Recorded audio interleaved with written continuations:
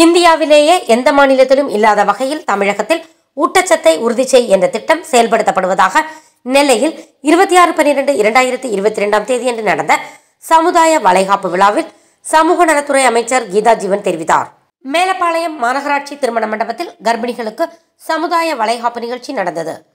Palayamkottai MLA Abdul Wahab mayor P M Saravanan ஆகியோர் முன்னிலையில் நடந்த இந்நிகழ்ச்சியில் தமிழக சமூக நலத்துறை அமைச்சர் கீதா ஜீவன் கலந்து கொண்டு கர்ப்பிணி தாய்மார்களுக்கு சீர்வரிசை பொருட்களை வழங்கி பேசினார்.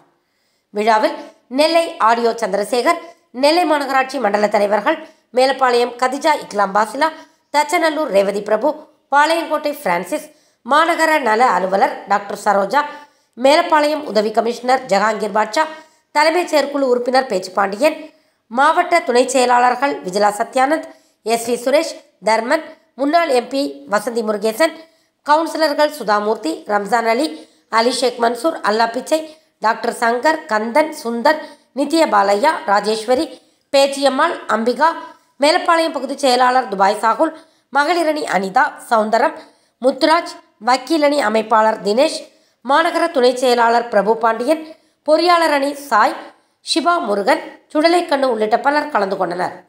இதிலே அந்த வட்டாரத்தை சேர்ந்த கர்ப்பிணி பெண்களுக்கு ஜாதி மதம் வேறுபாடு இன்றி வளைகாப்பு நடத்தப்பட வேண்டும் என்று சீர்வரிசைகளோடு ஐந்து வகை உணவோடு சென்று பரிமாறியுள்ள இந்த நிகழ்ச்சி நடைபெற்றுக் கொண்டிருக்கிறது.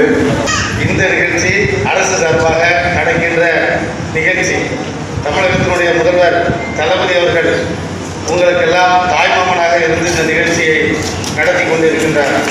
அந்த வகையில் அந்த துறையினுடைய அமைச்சர் அவர்களை இந்த பாளையங்கோட்டை சட்டமன்ற தொகுதிக்குட்பட்ட மேலப்பாளையம் பகுதிக்கு இங்கு அனுப்பி வைத்து உங்களுக்கு சீர் சீதனங்களை அவர் வழங்குவதற்காக அறிவாற்றல் மிக்க பிள்ளையா நம்ம பிள்ளைய பெற்று வளர்த்து எடுக்கணும் அப்படின்றது தான் நோக்கமாக இருக்கும். ஏன்னா இப்போ எல்லாம் ஒரு பிள்ளை இல்லை ரெண்டு பிள்ளை தான் பெறீங்க அதுக்கு மேலே யாருமே குழந்தை பெறுவது கிடையாது. அதனால் பிறக்கிற பிள்ளை வந்து நோஞ்சா பிள்ளையா பெற்றுவிடக் கூடாது நல்ல ஆரோக்கியமான பிள்ளையை பெறணும்னா அது உங்கள் தாய்மார் கையில் இருக்குது. அதனால் எப்போதும் நீங்கள் சந்தோஷமான மனநிலை வச்சுக்கோங்க. உங்களை சுற்றி என்ன நடந்தாலும் கண்டுக்காதீங்க. எனக்கு என் பிள்ளையை நல்லபடியாக பெற்றெடுத்து வளர்க்கணும் அப்படின்ற மாதிரி ஒரு நோக்கத்தில் இருங்க. அதுதான் நம்ம துறையிலிருந்து சொல்கிறது ஆயிரம் தங்கமான நாட்கள் அப்படின்ற ஒரு விழிப்புணர்வு எல்லா இடமும் நம்ம சொல்லிக்கிட்டே வரோம். கரு உருவானதுலேருந்து குழந்தை பிறந்து ரெண்டு வருஷம் வரைக்கும் அந்த ஆயிரம் நாட்கள் என்பது.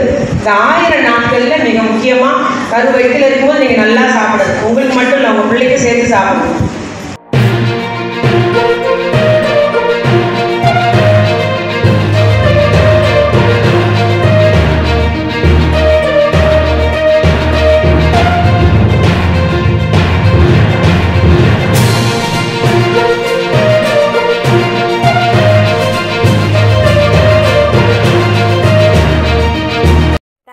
வாட்சிங் உண்மை செய்திகள்.